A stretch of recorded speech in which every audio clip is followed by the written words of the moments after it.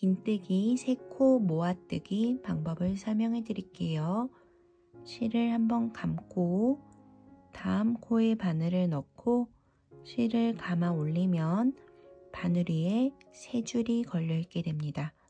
세 줄 그대로 두고 다시 한번 실을 감아서 다음 코로 바늘을 넣은 후에 다시 실을 감아 올려주면 바늘 위에 다섯 줄이 걸려 있게 됩니다.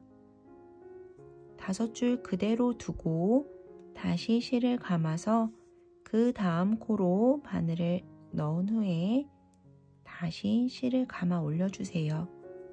그럼 바늘 위에 하나, 둘, 셋, 넷, 다섯, 여섯, 일곱 코가 걸려 있게 됩니다.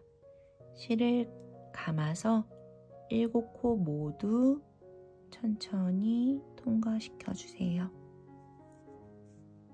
긴뜨기 세코 모아뜨기가 완성됐습니다. 한 번 더 반복해 볼게요.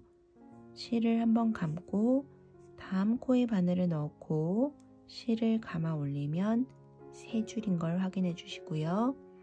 다시 실을 감아서 그 다음 코로 바늘을 넣고 실을 감아 올려주면 다섯 코가 됩니다. 다시 실을 감고 세 번째 그 다음 코로 바늘을 넣어서 실을 감아 올리면 일곱 줄이 걸려 있게 되고요. 실을 감아서 일곱 줄 모두 통과시켜 주면 긴뜨기 세코 모아뜨기 완성입니다.